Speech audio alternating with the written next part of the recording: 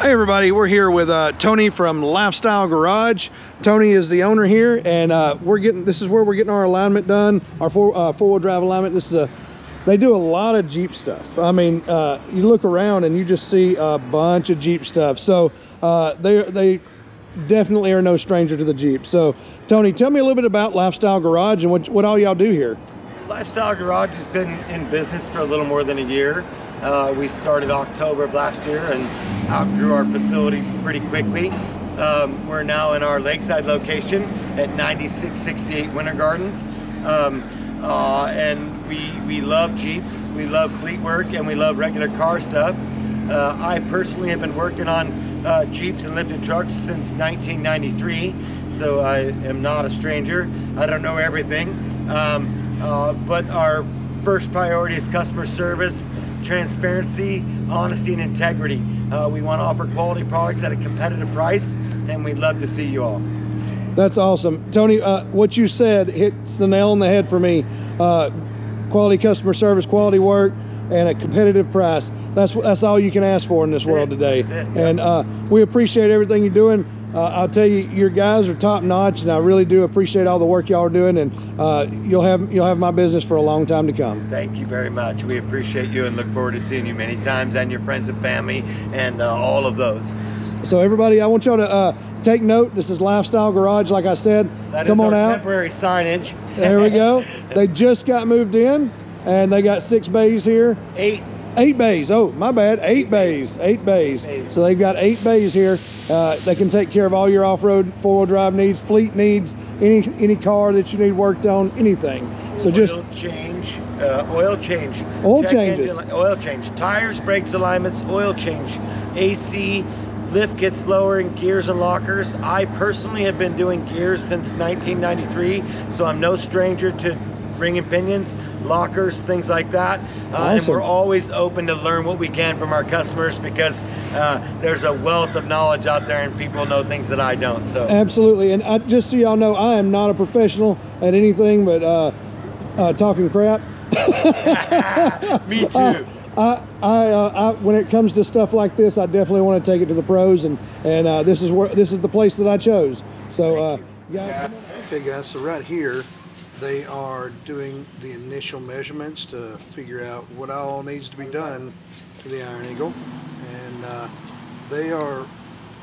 I guess this kind of starts it off. It kind of gives them a rough spot to start from, and then they'll put the lasers on there and get it all dialed in perfect. But this right here helps them to get the axle centered and everything like that.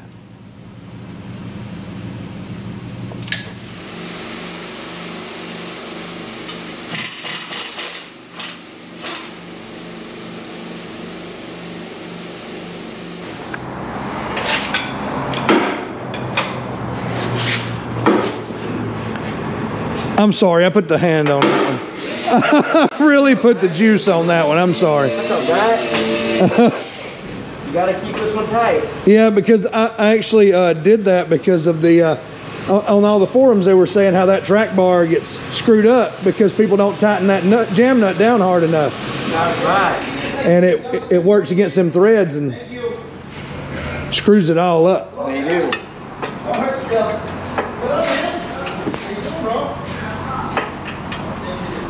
I put Loctite on it. I'm sorry. Fine. I'm a Loctite boy right now. But you will be glad to know I did not Loctite any control arms. I did that for you. Yeah. Hey, I think your wife called, Devin. Do you need me to push on something? Uh, well, I don't mind I gotta helping. find all my toys. All right. My boys be getting them all. Okay. Okay, guys. So uh, we were about an inch and a half off uh, coming to the passenger. We were inch and a half farther over towards passenger, and um, he uh, he's adjusted the track bar, and uh, I believe he's probably got that in the right spot now. And all he did, all he used was like a pry bar to uh, to shift it just a little bit. Didn't take a lot.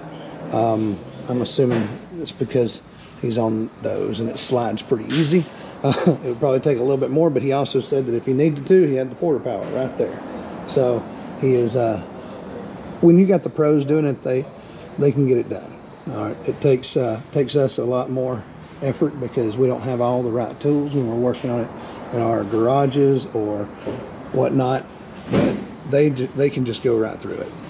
That's why we pay them.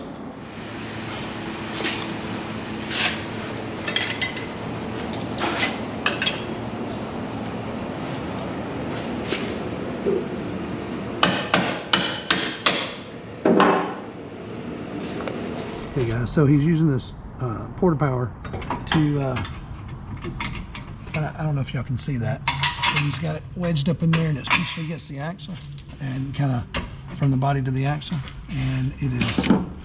Whenever he jacks it right there, like that, it is actually pushing the axle over to get it lined up, and then he just uh, puts the crank bar in place. So he has loaded up the suspension and he is setting the angles right now. See how he's got that done, guys?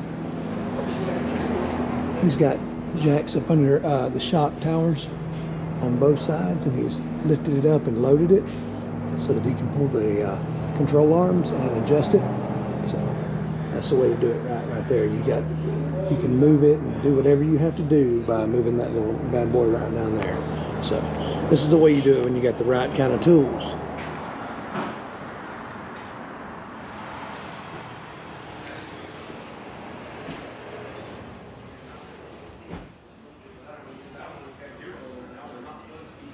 And what is what does this do?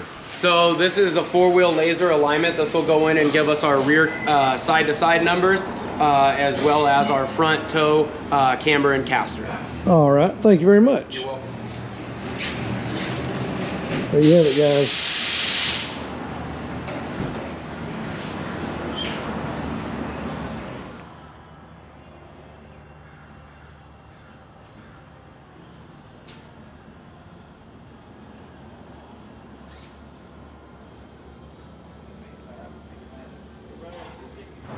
All right, so I'm here with uh, Devin, not Kevin, but Devin, That's and uh, with Lifestyle Garage. He just got through uh, wrapping up Iron Eagle and getting it uh, dialed in. So why don't you tell us a little bit about what you had to do to it? So we brought her in today and we did a four-wheel laser alignment on the Jeep.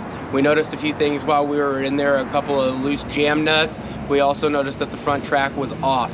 We went ahead and reset the front side square, got that dialed in, adjusted the caster, adjusted the upper arms uh, to match so, made the uh, angles correct, got the vehicle driving straight, got it driving well, uh, did a final adjustment on the gearbox to polish everything off, uh, and the American Eagle now drives down the road nice, straight, and tight.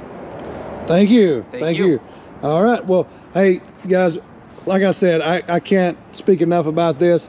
They are great guys out here. They did a great job. I drove her down the road. She uh, She's doing great. And uh, we are uh, super pleased. I'm super pleased. I think Ashley's going to be super pleased because she'll get to be able to drive the Jeep again.